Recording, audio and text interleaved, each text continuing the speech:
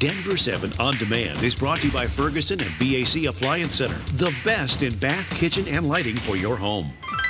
I'm Mitch Jelniker with the latest from Denver 7. We're still waiting for a judge's decision on motions filed in the Chris Watts murder case. He's the man accused of killing his pregnant wife and two little girls in Frederick this year. Prosecutors want his fingerprints, they want some cheek swabs, handprints. DNA experts say that's standard, but this request does come a little later than usual. Investigators no longer believe a missing girl from California is in Colorado. 11-year-old Kaya Fina disappeared from Orange County, California last Thursday. Investigators believe that she is with her biological mom, who does not have custody of her. They are believed to be uh, traveling through the metro, Denver metro area, but now they say they moved on. The first major music festival to hit Denver in eight years kicks off this weekend. It's called the Grandoozy. It's expected to draw between 60 and 100,000 people to the Overland Golf Course.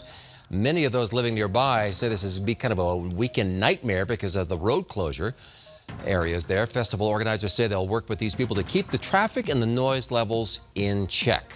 Now let's check the weather for that situation with Lisa. She's in the First Alert Weather Center. Yeah, that could be another bit of an issue. Really hot out there for the Grandoozy this weekend. It's going to be another hot day today. We've got a blue sky, crystal clear skies this morning, and plenty of sunshine expected through the afternoon. Now, the record high today is 92. We're calling for a high of 93 here in Denver, so we're likely going to break another record this week. We tied it yesterday when we hit 96. Now, tomorrow will be again in the low 90s. We're going to stay in the upper 80s to low 90s both Saturday and Sunday. So hot again for the Broncos game Sunday.